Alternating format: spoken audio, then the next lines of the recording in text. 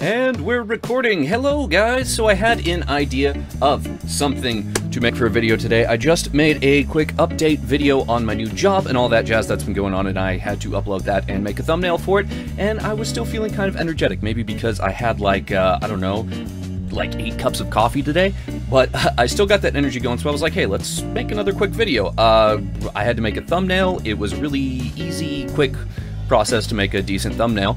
So I was like, why not make a video about making thumbnails? So here we go. First thing you need to do to make a thumbnail, and this is just an example. You can use these tools to make uh, a variety of thumbnails, whatever you want. I'm just going to show you the tools that I use and basically how to use them.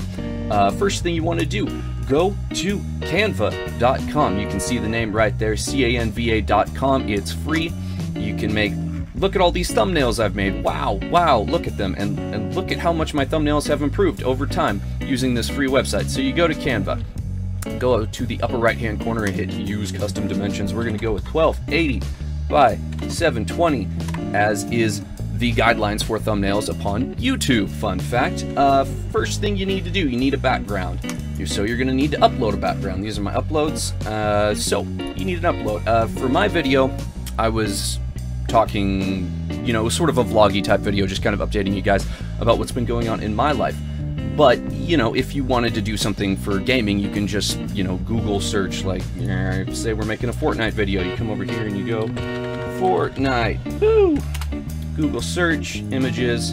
You can take something from here and use that as background. You know, you're gonna right click, save image as, blah blah blah, hit save. Let's actually do it so you can see what to do. So we're just gonna save that to desktop. We're gonna come back over to Canva. Where's our, uh, you're gonna go to upload image. You're gonna find the image you just downloaded, it's right there. It uploads pretty much instantly. And whatcha, look at that. You can size it, you can arrange it. Cool stuff, right? Uh, so that's, you know, a good way to start if you're doing a gaming type thumbnail. And since I know a lot of people have gaming channels, that's what we're gonna make. Uh, so next, oh, cut this, cut this, cut this, cut this part because I said um, um. I fucking hate when I say um when I'm thinking out loud. Like, isn't that so annoying? Like, there's one thing I've learned from fucking recording myself and doing this YouTube thing is I hate when I go um when I'm talking to people. Like it just looks so shitty. Um, what's next, right? You get it, you get it. So the next thing we're going to do is we're going to come over to text because every good thumbnail needs text in it. I am very partial to this particular text font down here. I call it Spirit Night just because that's what it says right there. So by selecting that, it's going to bring up this texty thing. You've got three different fonts here, three different areas to type in. I'm sure there's a word for those. I really like this one for my thumbnails. It's always in caps. It's got this nice like angle to it. It just looks unique. This is what I use. We're gonna be like, uh, I'm bad at Fortnite. Lol. And then we're gonna stretch that out. Shoobity boop, put it up there. Ooh, black, that looks good. But maybe we want it, you know, two-tone. We want that black in the background. We're gonna go shoobity boo. Scooby-Doo wow. Okay. I'm bad at Fortnite. Lol. And we're gonna stretch that out again. Woo! We stretched it a little bit too much. A little bit too much. we need to match that up here. Beautiful. Beautiful. Then I have this color pre-saved. Very easy to pre-save colors.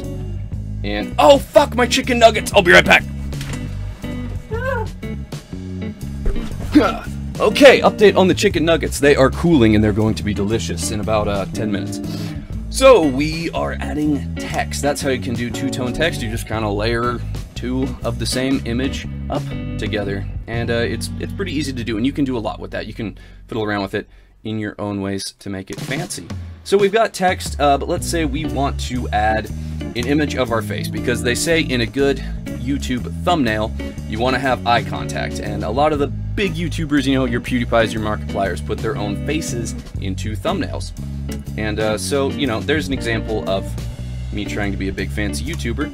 But how do you get an image like that? Well, you can come over to another free program called GIMP. It's essentially just a free, sort of fan-funded Photoshop that don't quote me on that, but you know, it's it's free and it's good. It's got lots and lots of Photoshoppy stuff into it. You know, it's a it's a high tier program. It's no paint. It's it's Photoshop. But I don't have any pictures of my face that are unedited sitting by for me to edit for you, and it would be a complicated, well, not a complicated, but it would take me away from this, and I don't want to do that. So we're, what we're going to do is I'm just going to show you how to make a clear background for an image, and I'll kind of explain to you as we go how to do that with your own face, as opposed to something that you just pull off of Google, like, uh, what, do, what do we want in the image? Let's be like, uh, wolf.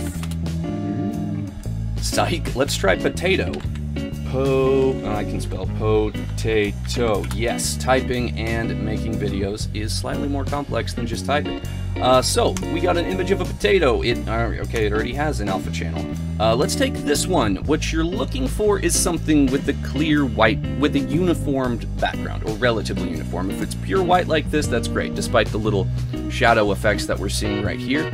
Uh, that's totally fine you can definitely do this without it being on a white background, but that's what you're going to want to look for when you're starting to make clear backgrounds by adding alpha channels to images. So what are we going to do? We're going to save image as, shoobity boop. Then we are going to come over to GIMP. This is what GIMP looks like when it actually opens. Kind of a big program, so it does take a minute to open if, depending on the quality of your computer, a fairly good computer. That is a big image. So uh, we are gonna get this stuff out of the way so we can look at our whole image here. First thing we're gonna do, we're gonna go to layer. We're gonna go to transparency and we are going to add an alpha channel. The alpha channel is sort of like invisible paint. So we need to remove all this white paint around the potatoes and replace it with invisible paint. And that's how you make invisible paint. It's called an alpha channel. Next, we're gonna go over to the fuzzy select tool, you know, the magic wand, hold shift and that's going to select basically all the white. As you can see, these shadowed areas are not yet selected, but by typically you can just kind of click your way in and get those all to select or you can just leave the shadows in there, you know, if you can't make it work. Because by selecting these darker browns, it's actually selecting the darker browns up on the potato here, which we don't want, so we're probably just gonna end up leaving those shadows in, but I need to back this up. What is the button for undoing? Uh, Control Z, so we need to go boop, there, boop, boop, boop, boop, boop, boop, boop. I don't want that. Hey, it worked. All right. Um, so we have backed it up. We are just going to take out some of these shadows, not enough to affect the potatoes themselves, hopefully. We're going to call that good. You understand the concept. Then, very important, we are going to come over, come over to File. We are going to go down to Export As. We are going to change the little suffix at the end, probably not called a suffix, but I think you understand what I'm trying to say, to PNG. And it has to be PNG to export with an alpha channel. It's very important. This will not work if you do not do this step, PNG. I hope I got that right. I'm pretty sure it's PNG. We're going to click export. Then it's very important that you come down here to this option save background color, and uncheck it. It will almost always be checked. Sometimes it isn't. I really don't know why, but you want to make sure that it's unchecked so that it saves with the clear paint, not the white paint. Then we're going to hit export. It should only take about five or six seconds for this to export, although it was quite a large image quite quite a lot of data. So not that long of a process, pretty simple. You can do a lot with it. Then we're going to come back to our thumbnail. We're going to click upload images again. We're going to come down to guessing it's the second one. Fuck, that has a white background. Let's, uh, come on, let me, let me delete it. Let me, uh, okay, it's gotta be the first one then. I'm so, oh, fuck. Well, which one of you is it? Well, it's not you. And it's not Damn it. Damn it. Damn it, I have too many programs opened. Why? Why do you have a white background? I've done this a thousand times. Why didn't you work? Why didn't you work? Tell me. Ah! because you have to fucking hit delete. You have to hit delete. As you hold shift and click, you are going to select the background uh, as you go. And then you actually have to delete it so that the white paint underneath show, or the clear paint underneath the white paint shows. Yeah, I'm just going to leave all that in just so you can understand that this is a very important step in the process. Once again, we are going to export as. We're going to change that to PNG. It already is. We're going to export, replace the one that we already saved. Don't need to check that again. Export, bing, bang, boom. That replaces the other one. I swear I didn't do Coke before this video. Just coffee. Just coffee. Then we're going to trash. Trash. Then we're going to upload our own image. That, that looks right. Yes! See? Clear! Paint. Boom. We have potatoes. You can position them, you can twirl them, you can remove those shadows to make it look less shitty, or you can just, you know, do the easy thing and position it on top of similar tones so that it doesn't really show up in your thumbnail. Because you know when this is all shrunk down on somebody's phone they're not going to notice those shadows under there. You can actually be very lazy with this and get away with it. Uh, how to do that with your face if that's something that you're wanting to do. Just take fucking selfies or get even better get somebody to take pictures of you standing in front of like a mono background. A green screen green screen would be ideal or you can just take it in front of like a door you know like a, a solid white door or something or hang a sheet.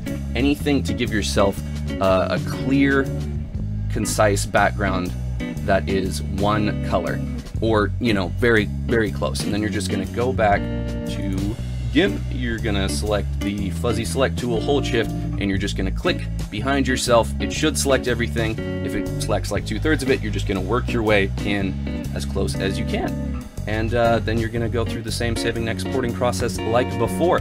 But back to Canva? Canva. Back to Canva. To finish up this process, you are going to hit download at the top of the screen.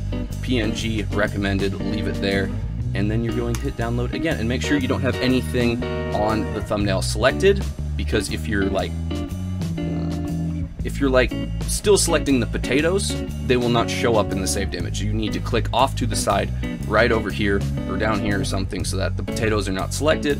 Otherwise they will not show up in the final image. Hopefully you guys enjoyed this video. Let's see how our thumbnail turned out. Boom! Look at that! Look at that! Ain't that gorgeous? Look at my pretty face next to those weird potatoes I hope you guys found this educational. Uh, I've never done any videos like this before, so if you enjoyed it, hit that thumbs up button. I'd appreciate it. Or, you know, subscribe. I would love to have you. If this video does well, I will do more videos like this in the future, so that would be great. Anyways, I love your guys' faces. Beard Heart, thank you for watching. Bye-bye!